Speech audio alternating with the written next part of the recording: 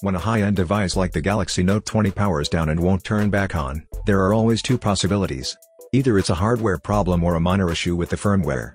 As an owner, you should try to troubleshoot it as you may be able to fix it on your own. In this video, we will show you what to do if your Galaxy Note 20 won't turn on after the Android 11 update. First solution, make sure it's not due to a physical or liquid damage.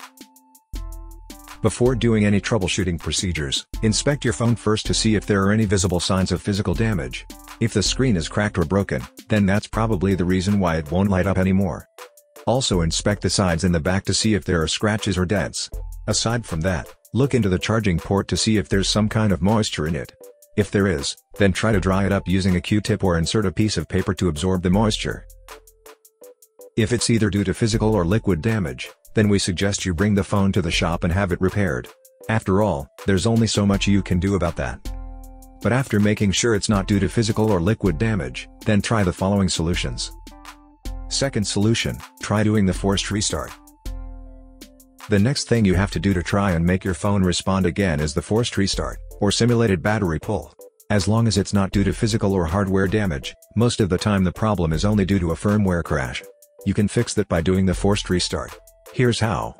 Press and hold the volume down button and the power key for 10 seconds. This often triggers your phone to boot up.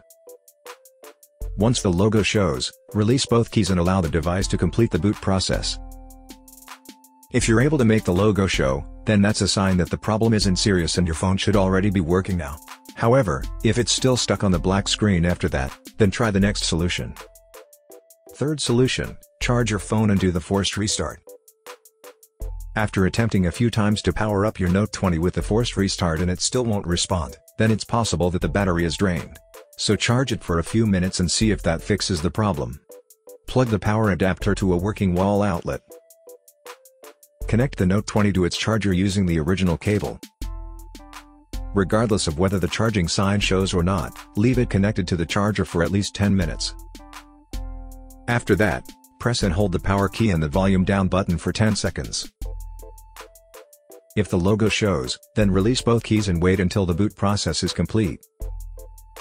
If you can make your phone boot up by doing any of the solutions here, then the problem isn't really serious. However, if your Note 20 still won't turn on after this, then it's time you have it checked. We hope that this simple troubleshooting guide has been helpful.